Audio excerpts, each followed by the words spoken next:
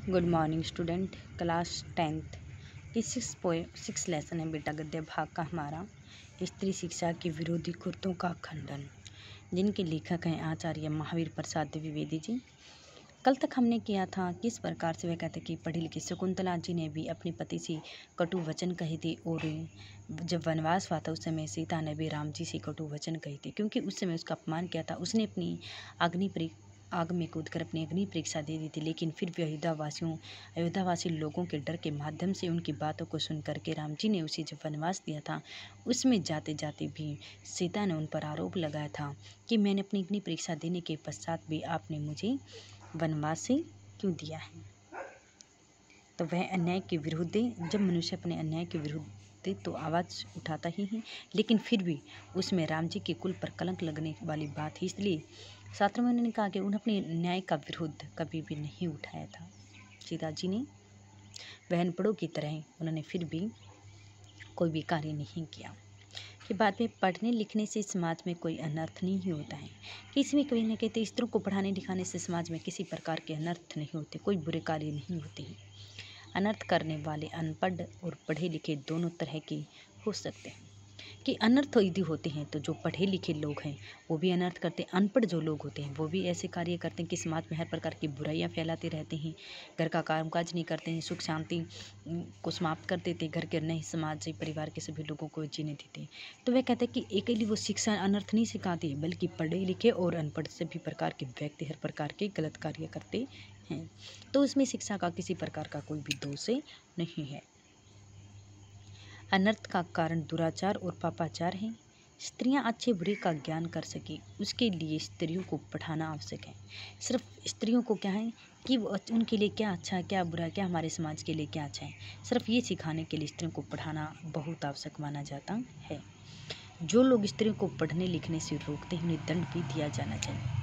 वह कहते हैं कि आज के समय में ऐसा करना है कि जो लोग ये मानते हैं कि स्वयं तो पढ़ लिख लेते हैं बड़े बड़े स्कूल, कॉलेजों में, लेकिन स्त्री को पढ़ने नहीं देते हैं। ऐसे लोगों पर दंड लगाने चाहिए, दंड उन्हें दिया जाना चाहिए, ताकि वो आगे कोई भी लोग कोई भी पुरुष स्त्रियों को पढ़ने के लिए मना नहीं करें। स्त्रियों को अनपढ़ रखना समाज की उन्नति में रुकावट डालता है। शिक्षा शब्द का अर्थ बहुत ही विस्तृत है, फैला हुआ है। उसमें सीखने योग्य सभी कार्य समाहित होते हैं तो पढ़ना लिखना भी उसी के अंतर्गत आता है। यदि वर्तमान की शिक्षा प्रणाली के कारण लड़कियों को पढ़ने लिखने के लिए रोका जाए तो ठीक नहीं है। इससे तो अच्छा है कि शिक्षा प्रणाली में सुधार लाया जाए। लड़कों की भी शिक्षा प्रणाली अच्छी नहीं है। फिर स्कूल कॉलेजों को बंद क्यों नहीं किया जाता कि जो पुरुष होते हैं, वो भी समाज में हर प्रकार के दुराचार फैलाते रहते हैं, अशांति फैला रहते हैं बड़े बड़े कॉलेज स्कूल में पढ़ते रहते हैं। लेकिन फिर उस समय उन स्कूल कॉलेज को बंद क्यों नहीं किया जाता? उनके कारण भी जब ऐसे कार्य हो रहे हैं, स्त्रियों को तो भी पढ़ा लिखाएँगे तो ऐसे कार्य कर सकती हैं, उनको स्कूल तक जाने तक भी नहीं दिया जाता। लेकिन पुरुष पढ़ लिख कर भी ऐसे कार्य कर रहे हैं तो उनके स्कूल कॉलेज को क्यों बंद नहीं करवाते? दोहरे मापदंडों से समाज का हित नहीं हो सकता है। यदि विचार करना है तो स्त्री शिक्षा के नियमों पर विचार करना चाहिए। उन्हें कहाँ पढ़ाना चाहिए? कितनी शिक्षा उन्हें देनी चाहिए? जी, किससे शिक्षा दिलानी चाहिए? परंतु यह कहना स्त्री शिक्षा में दोष है। यह पुरुषों के अहंकार को सिद्ध करता है। अहंकार को बनाए रखने के लिए झूठ का सहारा उचित नहीं है। बताए, हैं आठवां गद्यांश हमारा शिक्षा बहुत व्यापक शब्द है, उसमें सीखने योग्य विषयों का समावेश हो सकता है। पढ़ना लिखना तो उसी के अंतर्गत आता है। इस देश की वर्तमान शिक्षा प्रणाली अच्छी नहीं है। इस कारण स्त्रियों को पढ़ाना अनर्थ समझे तो उस प्रणाली का संशोधन करना चाहिए। दोष ने देना चाहिए उन्हें। पाठ का नाम वही है महावीर प्रसाद द्विवेदी लेखक स्त्री शिक्षा के विरुद्ध।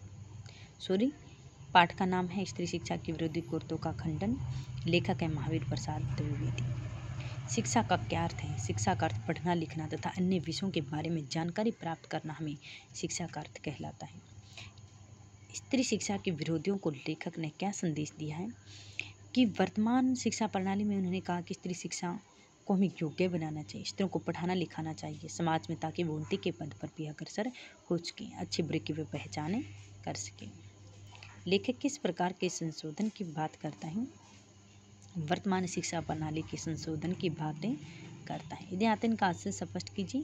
तो स्त्रियों के शिक्षित होने के लिए उन्हें दोषी नहीं ठहराना चाहिए, बल्कि हमारे जो वर्तमान शिक्षा प्रणाली हमें उसमें सुधार लाना चाहिए। स्त्रियों की शिक्षा के लिए हमें उन्हें उपयोगी बनाना चाहिए। अत्रि की पत्नी पत्नी धर्म में व्याख्यान देते इसमें घंटों पांडित्य प्रकट करी। गार की बड़े बड़े ब्रह्मवादियों को हरा दें। ये सब पापी पढ़ने का अपराध है। न वे पढ़ती, न पूजने पुरुषों का मुकाबला करती हैं। योग्य स्त्रियों के लिए पढ़ना कालकुट और पुरुषों के लिए पीयूष का घुट माना जाता है। लेखक ने ऐसा क्यों कहा है कि स्त्रियों को पढ़ाने लिखाने से कालकुट, जहर और पीयूष यानी कि अमृत के समान क्यों माना जाता है? अवतरण में किन दो विदेशियों के नाम बताए गए थे? किन के दो नाम बताए गए थे, अत्री और गार्गी की पत्नी, कि इन्होंने भी बड़े बड़े महान जो विद्वान थे, उन महान विद्वानों को इन्होंने हरा दिया था। क्या वो पढ़ी लिखी नहीं थी? क्या उन्होंने समाज में अपना उच्च स्थान प्राप्त नहीं किया है? उन स्त्रियों के भी नाम उन्होंने बताए हैं। स्त्रियाँ नारी निंदकों के अनुसार क्या करती हैं? तो नारी निंदकों के अनुसार नारियों को पढ़ाना नहीं चाहिए। अशिक्षित होने के कारण वे पूजनीय पुरुषों का मुकाबला नहीं कर पाती हैं। शिक्षित नारियों का क्या अपराध बताया गया है? कि वे बड़े बड़े ब्रह्मवादियों, पंडितों, शास्त्रार्थों आदि को पराजित कर देती हैं। ये उनका अपराध भी बताया गया है। इन्हें हरा कर वे क्या करते हैं? उनका अपमान करती हैं। स्त्री शिक्षा को क्या नाम दिया गया था? कालघुट का। स्त्री शिक्षा को पढ़ा लिखा दे, कालघुट जहर का नाम दिया गया था। कि वो हर प्रकार के गलत कार्य करती हैं। पुरुष शिक्षा के विषय में क्या कहा? पुरुष शिक्षा के विषय में अभी उन्होंने बताया पीयूष का घुट, यानी कि अमृत के समान माना जाता है। पढ़ना लिखना, उनका पुरुषों का तो पढ़ना लिखना अमृत के समान माना जाता है, स्त्री का पढ़ना लिखना एक जहर के समान माना जाता है। अब इसके आंसर है हमारे। पुराणों में स्त्री शिक्षा प्रणाली का उल्लेख न होना लेखक को आश्चर्यजनक क्यों नहीं लगा था? कि लेखक का मानना है कि जब पुराने ज़माने में हर प्रकार के विमान वगैरह उड़ते थे, लोग अपना व्यापार करने के लिए जहाज़ों के माध्यम से एक स्थान से दूसरे स्थान पर जाते थे। जहाज़ों को बनाने का उल्लेख तो कहीं पर भी नहीं मिलता है और नहीं कोई उसका प्रमाण मिलता है। लेकिन फिर भी लोग ये पता चला है कि यानी कि इधर उधर जाने के लिए अपने द्वीपांतरों का जहाज़ों का भी प्रयोग करते थे। फिर स्त्री शिक्षा प्रणाली के पुराणों में में उल्लेख न होना उनकी कोई बड़ी बात तो नहीं। यह भी सिद्ध नहीं होता कि पुराने समय में स्त्रियाँ अनपढ़ थीं।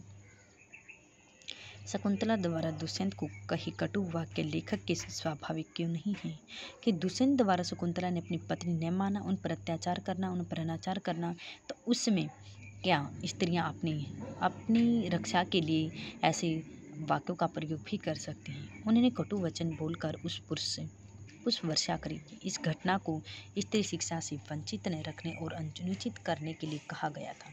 जबकि क्या थी, शकुंतला बहुत ही कम पढ़ी लिखी थी, लेकिन उसने भी से ऐसी कटु वाक्य कही थी। लेखक ने किन शब्दों में सीता की प्रशंसा की है? कि सीता की प्रशंसा करते हुए लेखक ने कहा कि लक्ष्मण से जो कहा वह सिद्ध कर, ताकि कि सीता गंवार नहीं थी। महाब्रह्म ज्ञानी तथा राजा जनक की पुत्री और महर्षियों द्वारा धर्मशास्त्र का ज्ञान रखने वाली रानी थी। द्विवेदी जी ने स्त्री शिक्षा के विरोधियों को क्या पढ़ने के लिए कहा और विरोधियों को श्रीमद भगवत गीता पढ़ने के लिए क्या है? कि उन्होंने क्या अध्याय पढ़ने के लिए जो पुराणों में पढ़ी लिखी स्त्रियाँ होती हैं, उनका कोई प्रमाण मांगते हैं। श्री कृष्ण रुक्मणी हरण की कथा में भी लिखा गया था कि उन्होंने भी श्री कृष्ण को एक संदेश भेजा था पढ़ने लिखने का। ऐसी नई कथाएँ हैं जो स्त्रियों को अत्यंत गवार मानती हैं।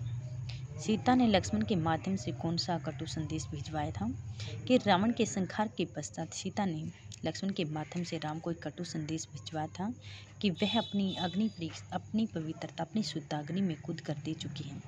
और राम पर आरोप लगाते उन्होंने कहा कि लोगों के कहने पर उसने सीता का परित्याग कर दिया था। कुल पर कलंक नहीं लगाया जाए। ऐसा करके उसने क्या यदि सीता का परित्याग नहीं किया गया तो हमारे कुल पर कलंक लग सकता है और अपने कुल का कलंक मिटाने के लिए, हटाने के लिए उन्हें सीता का ही परित्याग कर दिया था। सीता के द्वारा एक स्त्री का सम्मान की रक्षा के लिए ऐसा कहना पूर्ण रूप से उचित है। क्या उसने फिर भी कुछ नहीं कहा था उसके विरुद्ध? और वह वनवास चली गई थी। क्यों? इसका मतलब ये तो नहीं है कि वो पढ़ी लिखी थी, गंवार थी, लेकिन उसने व्यवहार ऐसा किया था कि वो पढ़ी लिखी नहीं थी, क्योंकि वह अयोध्यावासियों पर किसी प्रकार का कलंक नहीं लगाना चाहती थी। इसलिए उसने चुपचाप सभी प्रकार के कष्टों को सहन करते हुए वह वहाँ से निकल चुकी थी। गद्यांश जीवन परिचय और ये हमारा अठारह क्वेश्चन आंसर हो चुके हैं। अब इसकी परीक्षा उपयोगी क्वेश्चन आंसर हैं।